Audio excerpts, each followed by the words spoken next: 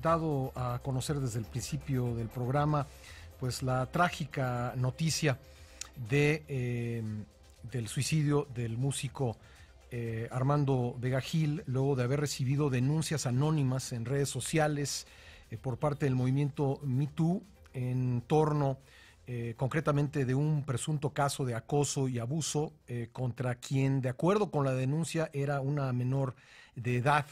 Eh, cuando ocurrieron los hechos. Eh, Bea Gil, eh, fundador de Botellita de Jerez, pues emitió un mensaje y también un audio de WhatsApp antes de suicidarse diciendo que aunque lograra probar su inocencia en un proceso penal, aún así su imagen pues quedaría muy, muy, muy maltrecha. me hicieron polvo, dijo él textualmente, y no podría seguir trabajando porque pues habría eh, consideraciones por parte de editoriales, de disqueras, eh, que a pesar de que no creyeran que son ciertas estos que son ciertos estos señalamientos de pederastia, eh, pues no les convendría tener en, en, su editorial o en su disquera a alguien que tuviese ese tipo de señalamiento en redes sociales. ¿Cómo se resuelve este dilema desde el punto de vista legal? ¿Cómo atender una denuncia sin caer en el linchamiento? Es algo que vamos a platicar con la abogada Claudia Elena de Buen, vicepresidenta de la Barra Mexicana. Eh, ¿Qué tal, eh, licenciada? Muchas gracias por tomar la llamada. Hola, buenos días, Pascal. Muy, muchas gracias. Al contrario, saludo al público. Buenos días. Pues creo que estamos en un dilema para el derecho, un dilema para la democracia, eh, un dilema para la convivencia social. ¿Cómo evitar el linchamiento y también pues evitar que se den con impunidad eh, hechos, eh, hechos de violencia, de, acoso, de abuso sexual. Eh, ¿Cuál podría ser la salida, licenciada? Bueno, lo primero es la educación, ¿no? Un pueblo educado no tiene por qué tener este tipo de conductas, asumiendo que, que fuera cierto y no me hablo, no hablo nada más del caso de Armando Vega. Armando, perdón, Vega, ¿verdad? sí, Armando Vega Gil, sí. Sí, perdón este que es una tragedia espantosa y que además eh, deja el movimiento MeToo en entredicho, ¿verdad? Este, nunca se va a poder saber si fue cierto o no fue cierto. El tema es que este el, el valor que ahora las mujeres estamos empezando a tener para denunciar hechos y quizá pasaron hace muchísimos años, 20, 30, quizá, no sé, 10, pero que, que este, en algún momento eh, eh, se tiene una posible afectación, agresión, violencia sexual o de cualquier otra naturaleza, y que ahora este movimiento y dentro del anonimato la haya hecho que una persona lo denunciara, yo no quiero decir que sea cierto, eso nadie lo va a saber, porque desafortunadamente el, anonimato es, es, lo que da, ¿no? Que siempre va a quedar la duda de que sean ciertas las cosas. Pero este, en este caso, bueno, pues tuvo una reacción especial en, Armando de Gil y se quitó la vida. Este, se quita la vida porque no quiere vivir con esta mancha de lo que pueda pensar la gente, aunque él, el segundo ley en, en la nota que dejó, dice que él nunca cometió ningún ilícito, ¿no? Pero no sabe ni de qué se trata, aparentemente. El anonimato, el tema es que ese miedo de tener que dar la cara y el miedo de recordar el tema y el, miedo a la, y, la soledad, ¿no? El estar solo y, decir, bueno, pues no tengo eh, ni fuerza ni forma de enfrentar algo así, entonces lanzo la denuncia en el anonimato. Eh, no es bueno el anonimato, pero es un paso que está dando una mujer, no, hablo de este caso particular, este, que puede estar dando una mujer para decir, por fin me atrevo a hablar sobre un tema que me duele, que me tiene toda la vida me ha lastimado, ¿no? Entonces, es la primera manera y yo por eso no podría criticar el anonimato, no puede denunciar, porque me parece que es mejor eso a no denunciar nunca.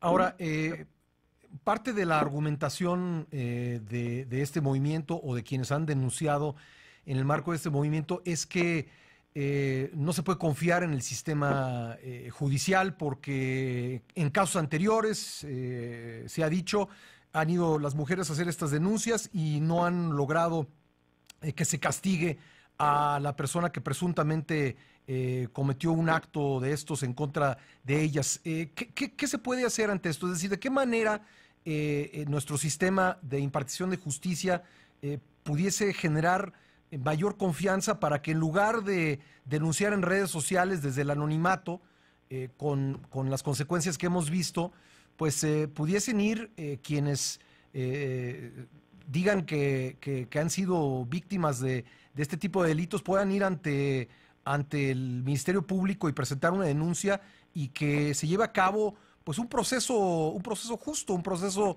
eh, que, contemple las posibilidades de que el acusado se defienda y que contemple la presentación de evidencias y que finalmente sea pues un juzgador el que decida quién tiene la razón. Sí, claro, bueno, primero hay que cambiar por el sistema judicial mexicano, que la verdad es que no funciona, no ha funcionado y nadie se acaba de adaptar al nuevo sistema, ¿verdad? A pesar de que fueron ocho años que se dio entre que se anunció el cambio a la, a la oralidad en materia penal y lo que se llevó a cabo pues, es que no, no hubo este, la, la preparación, desafortunadamente. Entonces, si tenemos un sistema penal, no un sistema, un sistema judicial que desafortunadamente no es eficiente, está sobresaturado, y entonces existe este una uh, por parte del, ciudadano no quiere denunciar, porque además hay muchas venganzas, además eh, eh, la, información, eh, digamos, no está protegida debidamente. Yo no soy penalista, pero bueno, eso es lo que veo. Yo pienso que además hay, hay también prescripciones, ¿no? No sé qué tipo de, delitos cuánto prescriba, pero hay una denuncia que es de daño moral, que es eh, cuando se afecta la integridad de la, del ser humano, no debe de prescribir porque además, imagínate Pascal, cuántos años van a pasar para que tú tengas la fortaleza de decir, sí, efectivamente sufrí una vejación, una situación, una, violencia sexual, ya tengo la capacidad para poderlo denunciar. Tiene que pasar muchísimos años. Entonces, el daño moral que te que te deja esta este tipo de delito, para mí es muchísimo más eficiente ahora con nuestro sistema que el penal, ¿verdad? En el, en el penal, pues desafortunadamente, tiene que ser de inmediato prácticamente y tener la fortaleza para poderlo hacer. Este, en cambio, en materia civil, por daño moral, se puede decir a los años que hasta que usted realmente fortalecido. ¿De qué estamos hablando, digamos, en el caso de esta chica que denuncia? No sabemos cuándo fue, ¿verdad? Porque ella tenía 13 años. Sí. Esto puede haber sido hace 50 años, 40 años soledad de, Armando Vega, pero era una persona ya mayor, eso estaba dentro de 60 años, ¿no? Entonces tuvo haber sido hace muchísimos años. Y simplemente este, ella debió de haber, en todo caso, hecho, este, puede demandar por daño moral, ¿no? Porque el daño moral que genera una violación es espantosa. Ahora, eh, una persona señalada eh, falsamente, eh, porque él, ah, él, alegaba que esto también puede también puede recurrir a la a, un, a, un, procedimiento civil por daño moral, ¿no?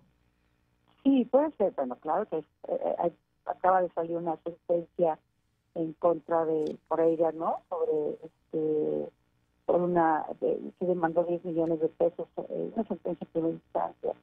Ah, este, que no recuerdo el nombre del periodista, la gente este, y, salió en contra. ¿Por qué? Pues porque también hay unas situaciones, hay situaciones en las que no tienes que el, el, Estado darte la razón. Probablemente tú hables, tú como periodista hables mal de una persona, pero la persona se puso en el, en el lugar, la persona dio lugar a esto, ¿no? Entonces ahí tienes una defensa, ¿no? Yo tuve un caso de los primeros años en México, donde mis clientes que estaban en la en el radio hablaban mal de un personaje que es a la vez que les puso su vida privada en un programa de televisión. Entonces ellos simplemente lo comentaron y la sentencia dice, tú abriste tu tema, eh, la más absoluta intimidad, y este, por lo tanto eres responsable de lo que la demás gente diga. Entonces, así, así en este caso, pero sí, este, los, el tema del periodismo es complicado, porque una cosa es hacer la investigación, hablar y criticar, y otra cosa es que la persona exponga su vida y ustedes simplemente lo comenten. Pues ahí son dos temas completamente diferentes, ¿no? Este, pero bueno, el daño moral lo pudo, pudo haber hecho de la denuncia si alguien eh, que no tiene la, digamos, eh, que lo que quiere es darla a molestar, este, lastimar a una persona, hace una denuncia falsa, pues es un cobarde, ¿no? Una cobarde. Y hay que, este, y el tema es que una, una denuncia de esta naturaleza como la de hermano Vega, no hay manera de probar lo contrario. ¿Cómo prueba el que no fue? Sí, exactamente. Creo que ese es, ese es eh, digamos, la, pues, lo, lo, que enfrenta una persona señalada es que pues le resulta imposible probar que algo no ocurrió, ¿no?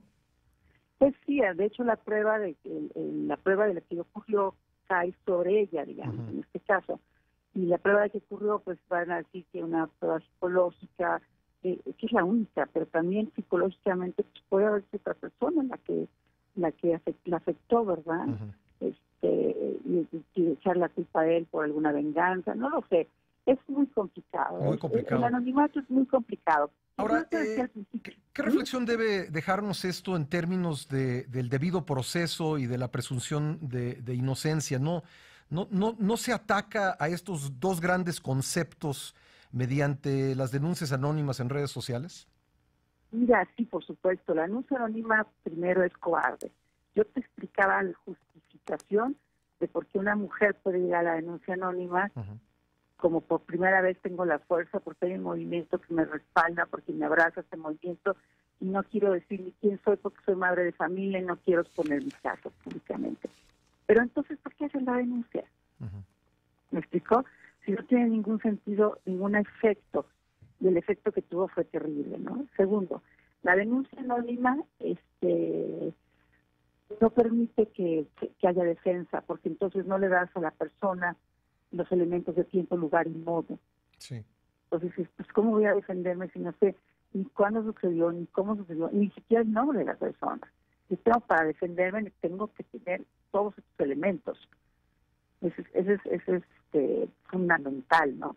Quizá no con, digamos, no, no con exactitud, porque también un tema tan traumático no te permite tener el, el, momento exacto quizá de lo que sucedió. Eh, además, no sé, Pascal, pero una cuestión de naturaleza, de esta violencia tan fuerte como es la violación, eh, mide la, a la mente para no sufrir, te, limita, te quita recuerdos como una especie de autodefensa. Entonces sí sucede y tendría que tener ella una, un apoyo terapéutico muy fuerte, o la persona, ¿no? Cualquier persona, para poder quizás tener la realidad este, en vivo. Después, eh, sí, la denuncia anónima no debe ser para nada, ¿no? Más que para redes sociales y es terriblemente complicado. Es, digo, por un lado se justifica que ya lo haya hecho, porque no tenía fuerza antes para hacerlo.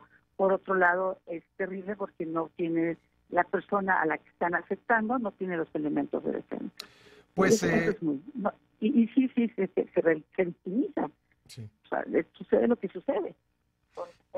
Pues eh, tema, tema complejo sin duda, eh, pero yo le agradezco mucho, licenciada, que nos eh, haya permitido tener estas luces para poder tener una discusión un poco con más elementos sobre el tema. Muchísimas gracias por tomar la llamada.